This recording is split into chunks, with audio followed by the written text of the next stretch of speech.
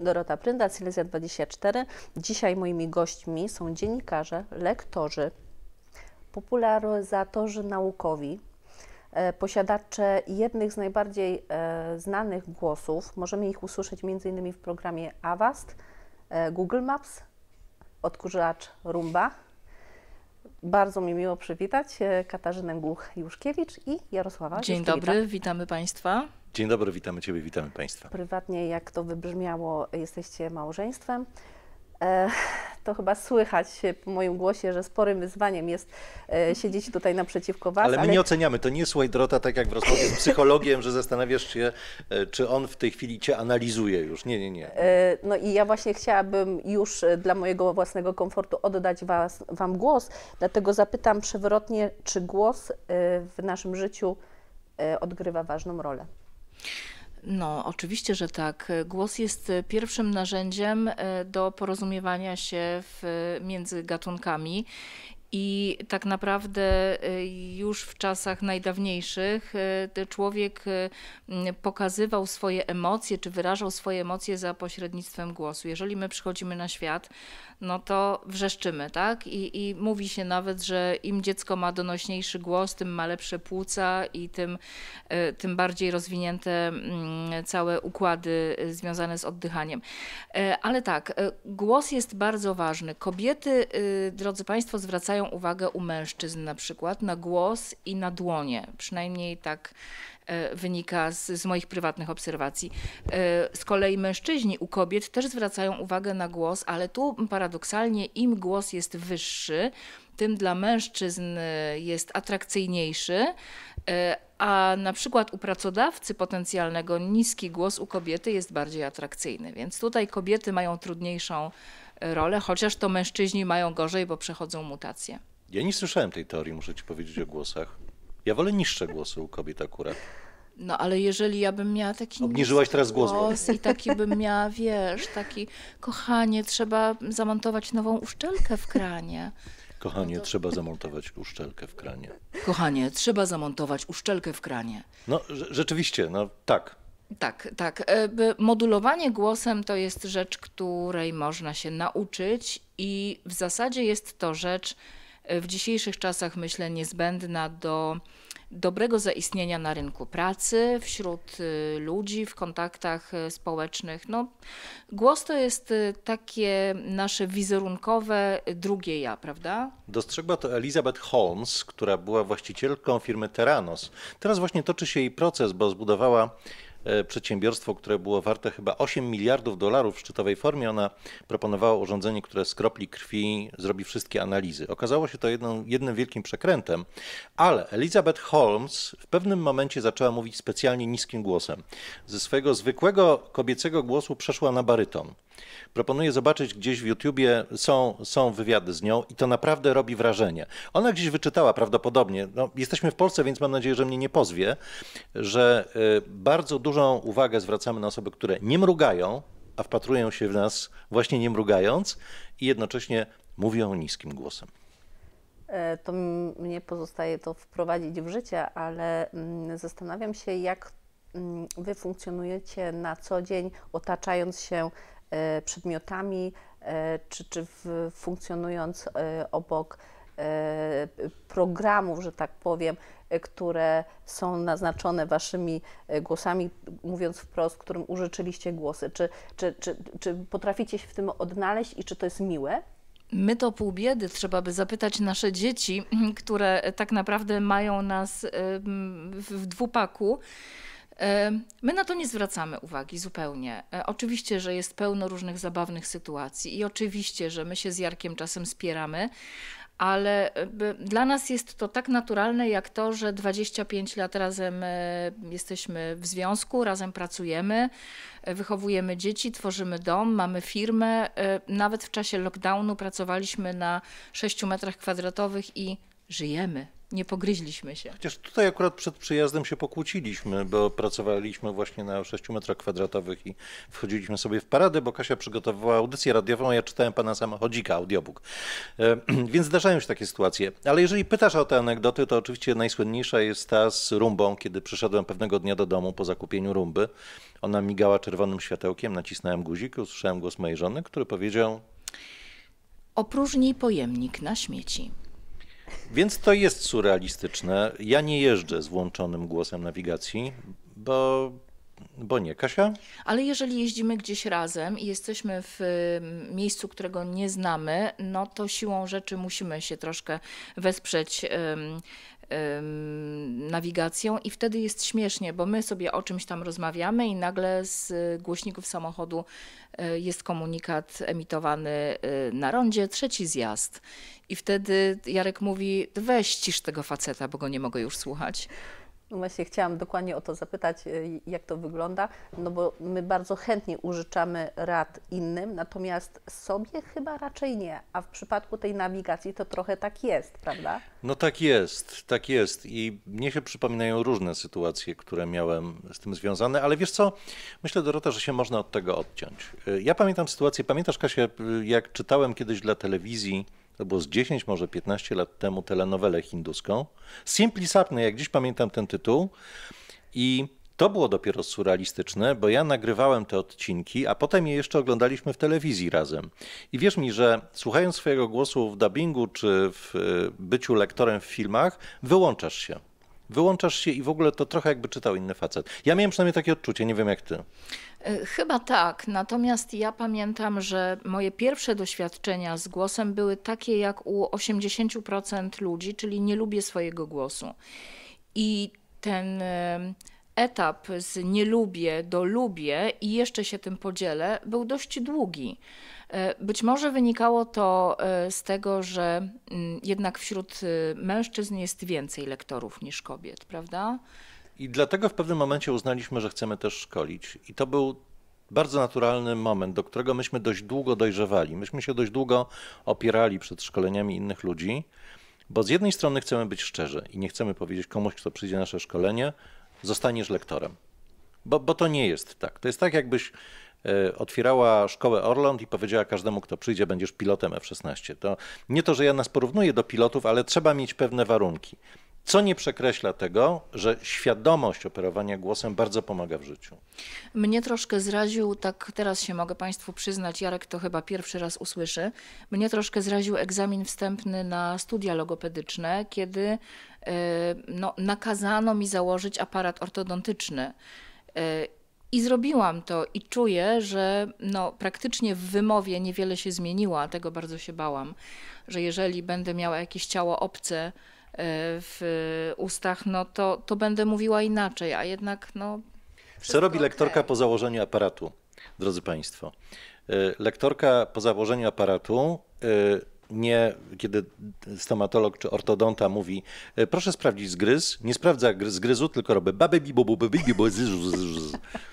Tak, tak, tak. I duża ulga, kiedy no, mówię normalnie. I, i to, to chyba jest taka rada dla wszystkich, którzy gdzieś tam mają jakiś kompleks. Nie bójcie się tego, bo nie ma sensu. Słuchajcie, a jak to jest tak naprawdę na co dzień? Jak wy dbacie o te głosy? Jak y, zwykły człowiek, który chciałby mieć większą świadomość e, swojego głosu, mógłby to robić, żeby było to mm, no, akuratne, a jak wy, e, zawodowi w zasadzie lektorzy, robicie to na co dzień? Jaka, jak, czy, czy macie jakieś rady takie y, dla nas? No, od kilku dni ja muszę sprawdzać co rano aplikację ym, związaną z alergenami, bo jestem uczulona na kladosporium i niestety ym, siada mi to na głos. y, y, Muszę zażywać odpowiednie leki, no więc na pewno dbamy o to, żeby nasze otoczenie było wolne od alergenów. Y, y, W czasie mm, smogu zimy używamy oczyszczaczy powietrza. No niestety musimy się e, pozbyć przyjemności picia zimnego trunku z białą pianką. E, I generalnie musimy uważać na to, żeby nie przesadzić, nie przesadzić z klimatyzacją, co e, teraz, kiedy były te upały straszliwe niedawno, to jest trudne, nawet w samochodzie. No i I Ja troszeczkę bardziej się wgłębiam w taką medycynę naturalną, w ajurwedę. Jarek troszkę z przymrużeniem oka. On woli po prostu siedzieć i nic nie gadać. Ja jestem taka z natury, że u mnie to nie przejdzie, telefon dzwoni non-stop, więc muszę się wspierać różnymi preparatami. Nie warto palić, e, bo często na YouTubie e, widzowie zadają mnie akurat pytanie, czy pali pan papierosy i czy to wpływa na głos. Odpowiem całkowicie szczerze, tak wpływa. E, palenie papierosów w moim wypadku nieco obniżyło głos, Natomiast ja rzuciłem 11 lat temu. 12. To już 12 lat temu palenie, ponieważ e, pomimo tego, że papierosy być może obniżają głos i pewnie nie u każdego, to jednocześnie jest trochę działań ubocznych, e, wśród nich na przykład ryzyko raka płuca. Więc nie polecam palenia i nie palę. I rzeczywiście skończyły mi się problemy, jeśli chodzi o przeziębienia. E, rano, wbrew pozorom, na rozgrzanie aparatu nie działa dobrze kawa, bo kawa odwadnia. Natomiast szklanka ciepłej wody z cytryną jak najbardziej. I to chyba wszystko, jeśli chodzi o takie fizjologiczne dbanie o głos, ale my bardzo staramy się mówić głośno i wyraźnie. Gdzieś mamy z tyłu głowy świadomość poprawnego mówienia, którą nam jeszcze gdzieś wbili nasi mistrzowie w radiu w tył głowy. Y, tych tak zwanych knifów na uratowanie swojego głosu, kiedy na przykład przed nami ważne wystąpienie, audycja lub spotkanie jest y, mnóstwo. Nie zdradzimy wszystkiego, mm, ale mogę podpowiedzieć siemielniane. Siemielniane, którego Jarek nienawidzi, a po prostu ziarenka gotujemy sobie i łyżeczką y, podjadamy. I chociaż wygląda to niezbyt fajnie, to, mm, to działa naprawdę super. Czyli tak naprawdę stałe rytuały i sporo tych ograniczeń jednak na co dzień. Tak. Musisz mieć świadomość tego, że głos jest jak instrument. I muzyk na przykład nie jest w stanie trzech godzin grać cały czas bez przerwy na instrumencie. Trzeba robić przerwy. Każdy ma inne, inne możliwości. Ja mam kolegę, który czyta audiobooki, który potrafi czytać cały dzień. No ale jest młodszy, może, może przychodzi mu to e, łatwiej. Mm ta higiena życia jest dość ważna. Tak, musimy dbać o to, żeby nie było kurzu, tak? Jeżeli mamy w jakimś e, małym pomieszczeniu studio, no to musimy dbać o to, żeby ono było odkurzane, no bo automatycznie my to wszystko gdzieś tam e, wdychamy i potem pojawia się chrypka. E, musimy też dbać o to, żeby zimą, no chciał, nie chciał nosić ciepły szalik i po prostu opatulać się. My jeszcze w studiu, chyba jesteśmy jedynym studiem nagrań w Polsce, które ma akwarium morskie w reżyserce, nie w miejscu, gdzie nagrywamy, e, które bardzo ładnie nam nawadnia tę przestrzeń i no staramy się, staramy się o to dbać. E, o te wyzwania mm, lektorskie e, za chwilkę Was zapytam, ale chciałabym również dopytać o, nie wiem, czy mogę powiedzieć w Waszym przypadku, spektakularne wpadki na antenie? Oj, tak. To proszę bardzo. Pani redaktor? Ja tych, ja tych wpadek miałam troszkę, kiedy mm, byłam prezenterką wiadomości, no i, i siłą rzeczy audycja była na żywo ale to było e, raczej e, coś takiego, że moje oczy, znaczy inaczej, e, usta czytały szybciej to niż widziały oczy, więc wychodziły zamiast niemowlęta i nomorodki, o właśnie, niemowlęta i noworodki wychodziły niemorodki, albo kopalnia maczku Piaski Bór, tak? To, to, to słynne sprzed iluś tam dziesięciu lat. Ja już zdążyłem o tym zapomnieć, to jest urocze. Dużo, dużo takich wpadek. Myślę, że słuchacze lubią, kiedy jesteśmy naturalni i wtedy wiedzą, że program jest na żywo, nie gdzieś tylko montowany i nagrywany na taśmę. Ja pamiętam jedną charakterystyczną, bo to z początku mojej kariery. E, chyba jedna z pierwszych audycji Ekspres, którą prowadziłem w Radiu Katowice. I chciałem być taki bardzo dokładny. Ekspres startował o godzinie 12.30 i powiedziałem, minęła 12.30, tu Polskie Radio Katowice, Ligonia 29. Pogrzyba podałem adres, nie mam zielonego pojęcia. Pamiętam też kiedyś, że prowadziłem audycję i powiedziałem, że toczy się proces przeciwko księdzowi. No przejęzyczenie, tak? Słuchajcie, wszyscy to słyszeli. Po prostu każdy, tak, księdzowi, ja. Mhm. I jeszcze jedno. No a klatka meteorologiczna?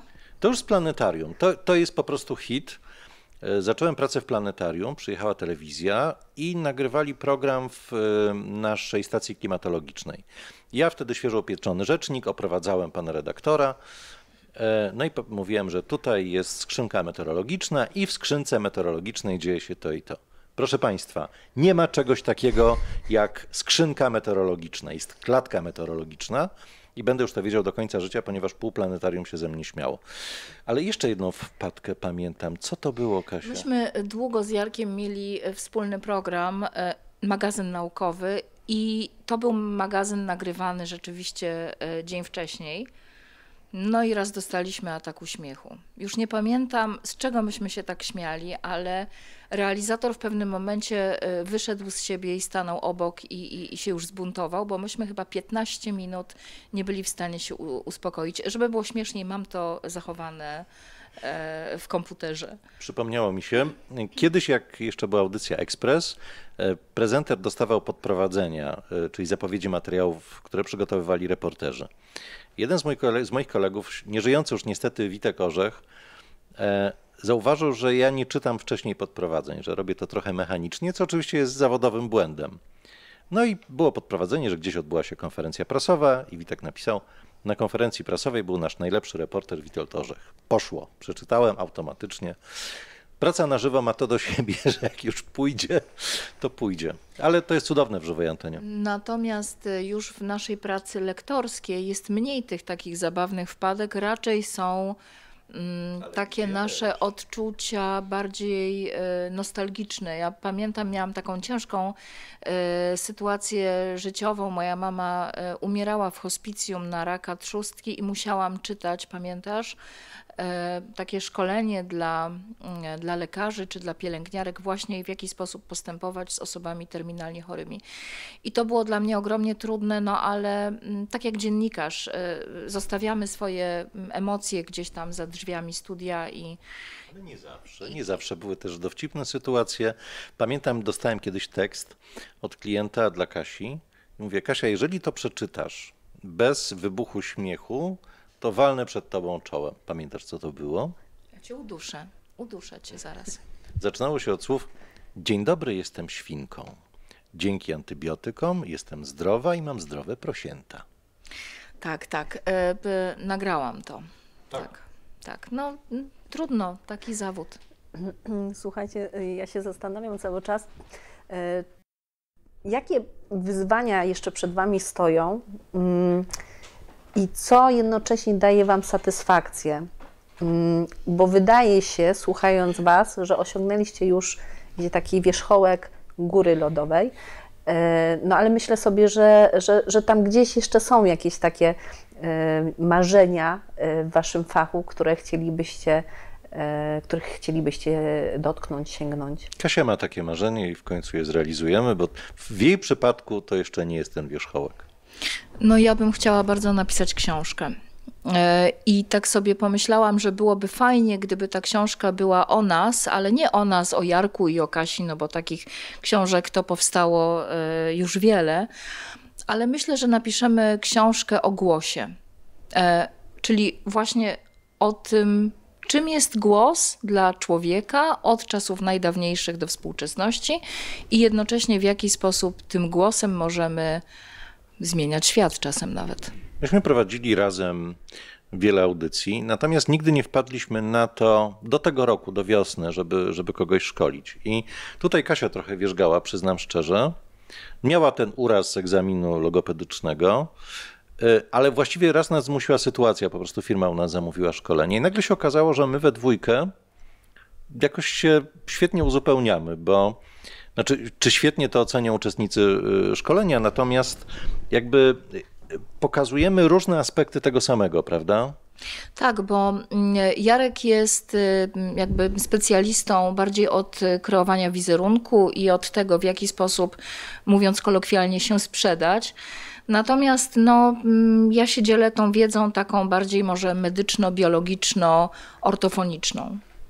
No właśnie, i tutaj płynnie przechodzimy do szkoleń, y, na które się zdecydowaliście, i myślę, że wiel, wielu, wiele osób y, będzie y, usatysfakcjonowanych, bo w końcu będzie, może, będzie można się poduczyć od fachowców, mm, jak mówić, żeby nas słuchano.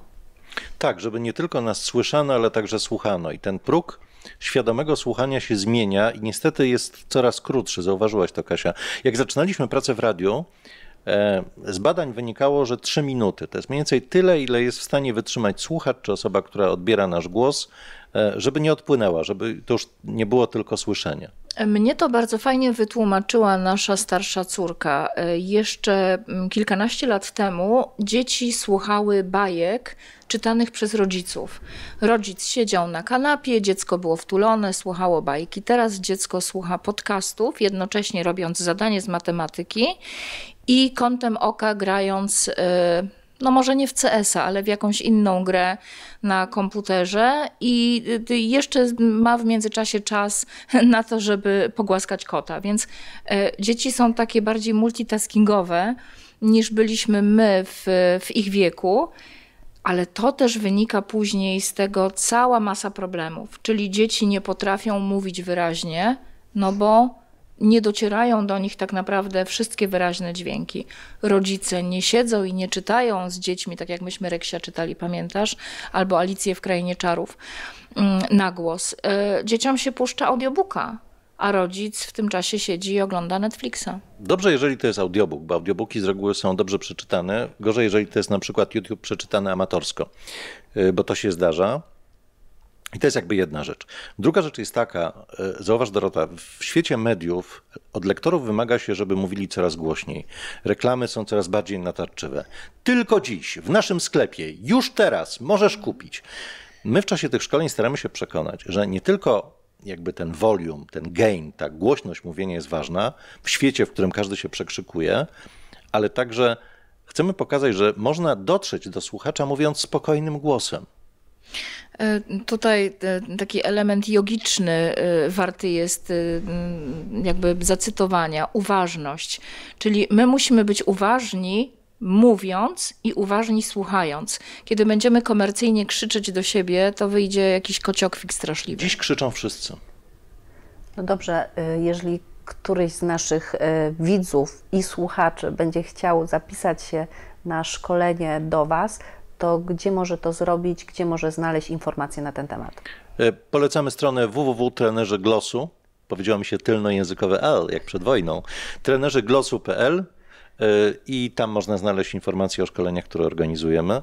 E, 14 września to będzie ta Z tym, że 17. Z tym, że 17 to kolejna wpadka do, e, do kolekcji. 17 września mamy szansę się z Państwem spotkać. Pewnie się 14 z kimś na randkę umówiłeś, dlatego masz to z tyłu głowy, podświadomość. Mm. E, Można również śledzić nasze profile na Instagramie, kieruj się na południe chociażby, czy, czy na Facebooku, tam takie informacje się pojawiają. Zresztą my staramy się e, z Kasią trochę bawić tą sytuacją, nie podchodzimy strasznie poważnie do tego, bo e, też można śmiać się z tych różnych sytuacji, prawda Kasia? Tak, teraz cały czas w drodze do domu będę słyszała, co będziesz robiła, kochanie, 14 września. Tak to jest, kiedy ma się żonę lektorkę. Słuchajcie, to jeszcze na zupełny koniec, wprawdzie y, Jarek już powiedział y, fragmentarycznie, ale gdzie możemy Was usły- usłyszeć obecnie, jakie audycje prowadzicie, gdzie możemy Was y, zobaczyć? Aż dwie stacje radiowe, proszę bardzo. Polskie Radio Katowice, aż by się chciało powiedzieć Ligonia 29. E, e, W Radiu Katowice mm, prowadzę magazyn naukowy. E, Podcasty naukowe również na Spotify'u i innych e, portalach e, Nauka każdego dnia. Właśnie jestem na etapie przygotowania materiału o nanocząstkach, które jesteśmy w stanie zbadać dzięki balonowi Ulka uniwersyteckiemu.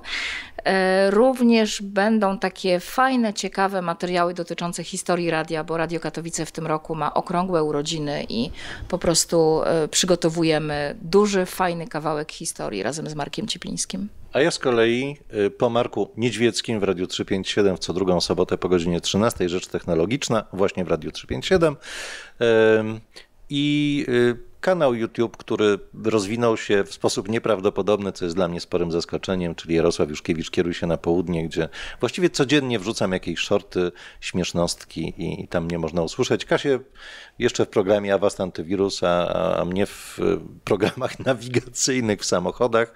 Zresztą też się bawimy tą całą sytuacją, bo, e, no bo lubimy to, co robimy, nie ukrywamy tego. No to w takim razie gratulując y, Wam sukcesów i życząc kolejnych, bardzo Wam dziękuję za to spotkanie, za rozmowę. Moimi gośćmi e, byli Katarzyna Głuch-Juszkiewicz i Jarosław e, Juszkiewicz. Serdecznie Wam dziękuję. To my Ci dziękujemy za Dziękujemy. zaproszenie.